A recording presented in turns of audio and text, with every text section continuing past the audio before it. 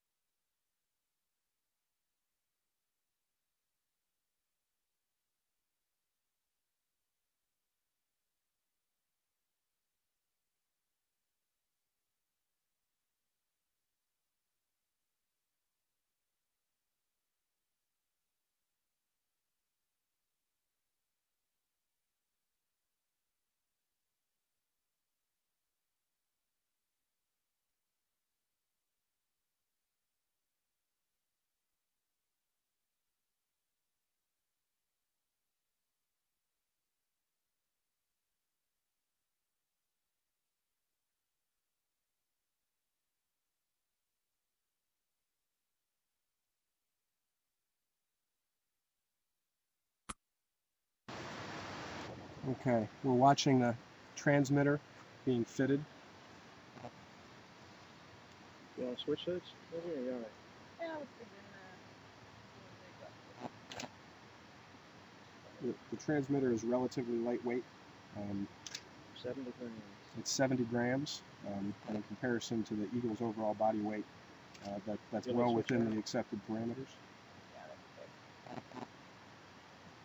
It's got a, a, series of Teflon straps which secure it to the bird. Um, those allow for, um, uh, for, for, for feather molting to go on. The transmitter doesn't interfere with the bird's life processes. There's been extensive research.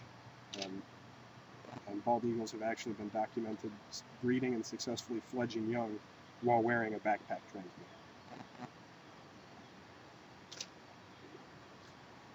There's a solar panel on this transmitter. And you can see the antenna.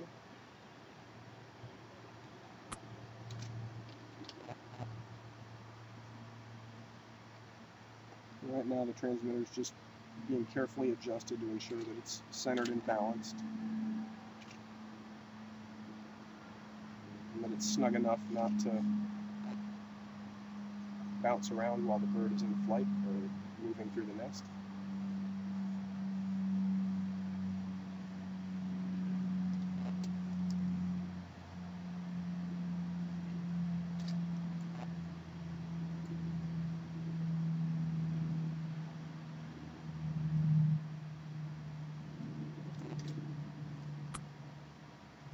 Transmitters like this and, and, uh, and like similar units that DGIF has deployed um, provide really Uh, important information about the way birds from the Chesapeake Bay are dispersing and using habitat.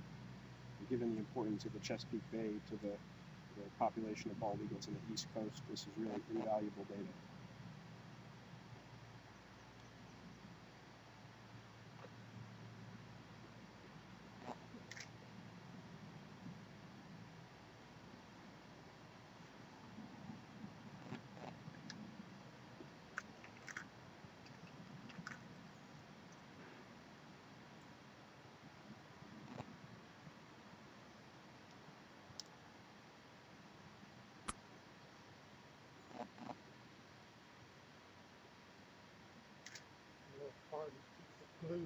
The feathers. So the clips temporarily hold the straps in their current position, and the cards have been slid under there um, to uh, keep the feathers away from the glue that will eventually be used to permanently attach those straps.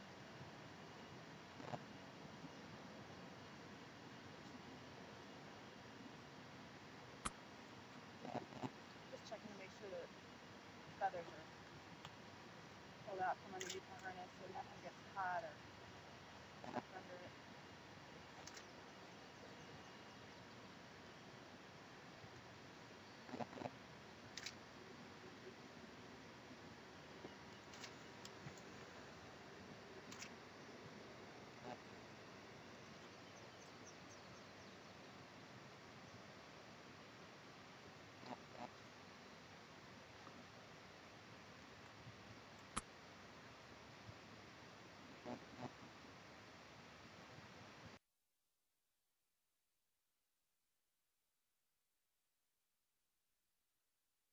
Audio's on. A leather hole punch to make a hole in the Teflon harness, which I'm gonna rivet in place the little grommets.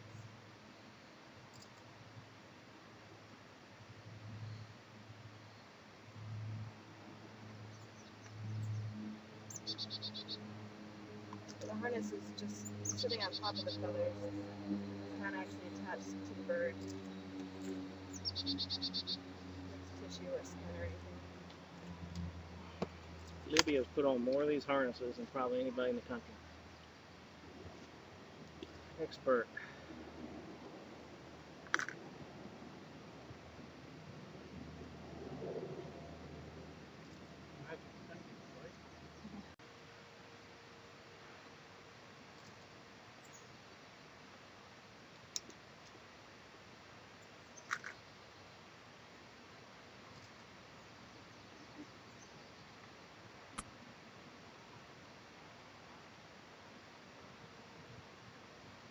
You can see how effective the hoods are. The- These birds are, are dozing uh, during a lot of this procedure.